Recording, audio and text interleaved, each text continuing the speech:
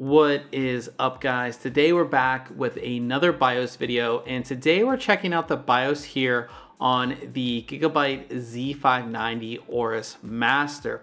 Now this BIOS should be pretty much the same across all of the Z590 Aorus motherboards. Obviously, depending on the motherboard that you have, some of the settings will or won't be there. Um, but overall, the layout should be pretty much the same. Now, if you want to know how to get into this BIOS, when you power on your system, just keep on hitting that delete button on your keyboard and you'll be brought here right into the BIOS. Now, this video is just an overview. We're gonna go over the different settings. We're not gonna go into detail on a lot of things. Um, this is just to give you an idea of the settings and maybe help you find where some of the settings are. Now, when you first load into the BIOS, you should be brought into easy mode, which is what you see right in front of you in easy mode has all the settings that you really want if you're like a first time builder or you're first turning on your system you need, you need to enable or set some things up so we have our information up here um, live view of our CPU frequency memory frequency temperatures and voltages over here we have our DRAM stats and we can enable or disable your XMP profile. So by default, it should be disabled like that. To enable your XMP profile, you just click this button right here. It's that simple. Below that, we have our boot sequence. Now for us, we only have one drive installed, but if you had multiple drives, you could drag and drop to set your boot sequence. Over here is a live view of what is installed in your system. So under SATA, we have our drive here, PCI Express, we can see we have our graphics card, and then it's running at X16 speeds, M.2, no M.2 drives installed, but if we had one installed, it would show up right here.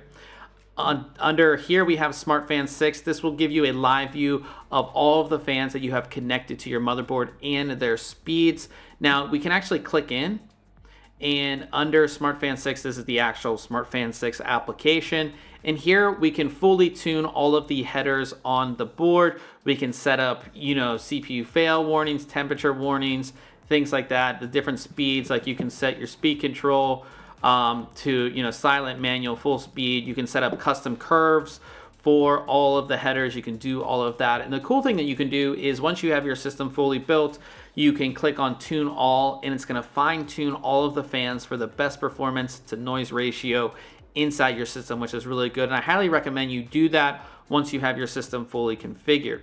We can hit escape to get out of there. And then we just have Intel Rapid Storage Technology. You can turn that on or off. We can change our language. We can always uh, click this button or, or hit F1 for help brings up a little help menu there.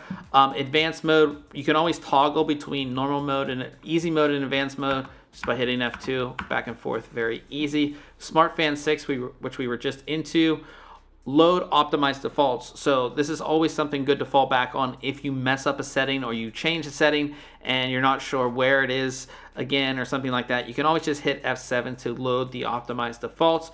QFlash is uh, F8. We can go into QFlash and this allows you to easily flash your BIOS and I would highly recommend if you are getting a Z590 motherboard, make sure you update the BIOS because a lot of the new features, especially for the i9, is only enabled in the latest BIOS. So make sure you get the latest BIOS. This allows you to easily update your BIOS from a USB flash drive and save your BIOS to a USB flash drive. So you can do that through this, save and exit, and then our favorites menu. So let's go back into advanced mode.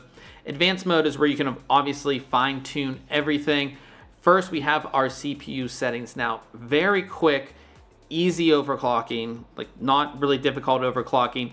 We would go here, and set our CPU clock ratio to something obviously different than 35. Um, so we could set this to say 50. Uh, let's go down here and select 50. And we're going here. And we'll set this to 50 here. And then our CPU would be running at 5 gigahertz instead of 4.8 um, when we restart a system. That's simple, easy overclocking. Um, doesn't get much easier than that. Um, we have more of our CPU settings. We can go into advanced CPU settings. Um, and there's a lot of different things you can change in here. This is everything to do with your CPU you will find within this menu. Now the one thing you might want to do is you can switch your active turbo ratios. Um, you, you set it from auto to manual and then you can set um, the the turbo ratios for each of the cores of your processor. This is another way to overclock. You could set the first two to 53 or 5.3 what they're at and then you can maybe set the rest to all to 5.1 um, you can overclock that way pretty easily as well now the the really annoying thing about the Gigabyte BIOS is if you go into all these settings and then say I want to go back because we have a page before typically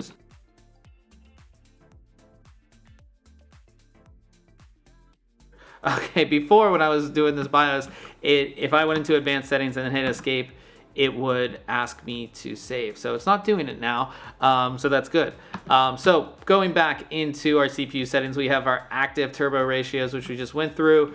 Per core hyper threading uh, disable. So if we set that to manual, we can disable hyper threading per core.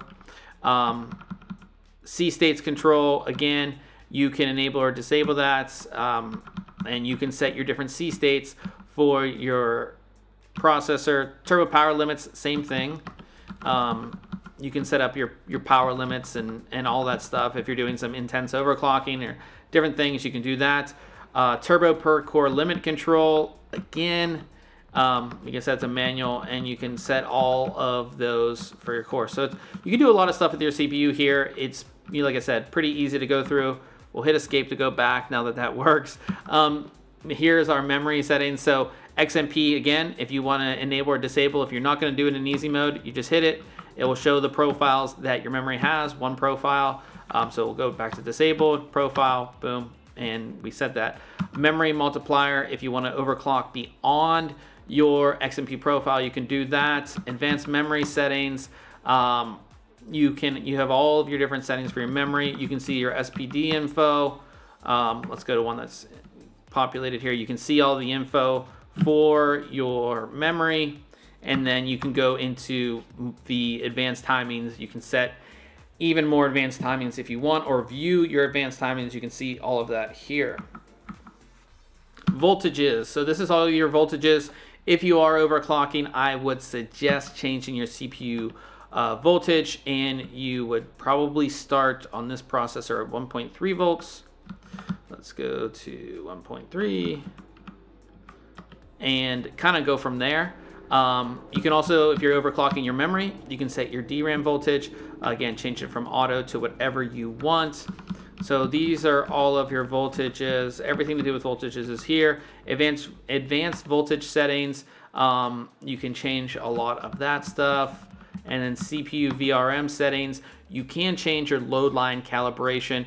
And the graph that you see below shows your um, your load line scaling. So you can change this. Um, again, you have like auto, normal, you know, low, medium, high, turbo. So if you're doing crazy uh, stuff, you can do ultra extreme. But the, for the most part, like I said, set it to auto by default. You really won't need to change it unless you're doing some pretty intense overclocking. So that is everything in the tweaker menu. It has everything that you want for overclocking and changing settings you know, whether it's CPU or memory or voltages, it's all right there. In the settings menu, um, we can go to, you know, platform power and do things, you know, different uh, save modes, resume, you know, wake on different times and, and things like that. Everything to do with power. I.O. ports, we can turn different ports on or off. Um, App Center download and install configuration it is enabled. So basically when you turn your system on or boot up for the first time in Windows, it's gonna ask to download the App Center, which I would highly recommend because that allows you to easily you know, download all your drivers, download all your companion software all within one app, which I really like. USB configuration, again, you can turn off, you know, legacy USB support. All of the stuff for USB is right in here. Network stack configuration, NVMe configuration, again, we don't have a device, but if we did, all the settings would be right in here. SATA and RST configuration. You can see all of the SATA ports, just enable or disable them. It will show um, the drive that you have installed in the port as well if you do have one installed, but everything for SATA configuration stuff is all right in here. Miscellaneous, um, you know, LEDs on and system power on state, obviously. LEDs in, in sleep hibernation and soft off states. So if you want the LEDs on the board to remain on when you have the your system powered off, you can do that. Um, you know, all the different, different things like that. You have uh, trusted computing. If you had a TPM module installed, um,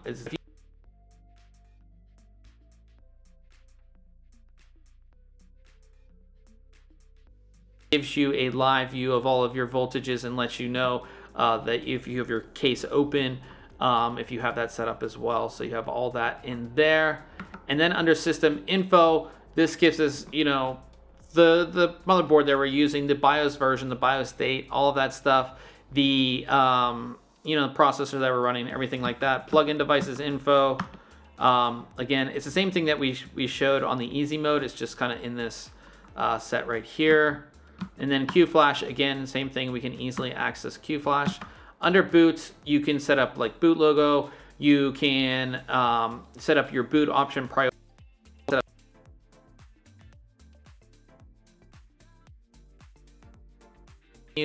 And then under save and exit, um, of course we can save and exit. Load optimized defaults, as I said, is in here as well boot override, which I love to see. So you can easily, you know, if you're installing Windows from a flash drive, which I assume most of you are, you can, you know, boot your system the first time, hit the, hit the delete button to get into the BIOS, set your boot override the first time. So all you have to do is just hit enter on this, um, and then it will boot to that device. So if you had a flash drive, it would show in here, and you would boot from your flash drive the first time and then it's gonna you know do the Windows install. That means on the reboot, you won't have to run and unplug your uh, flash drive. It just makes it so much easier.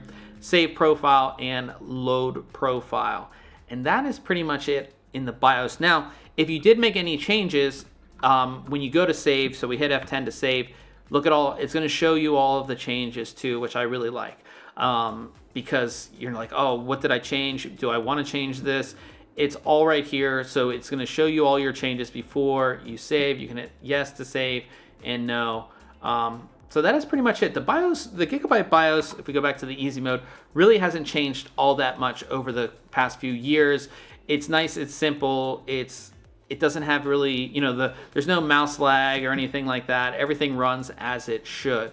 So if you have any questions about this BIOS, go ahead and leave it in the comment section below and we'll see you guys in the next video.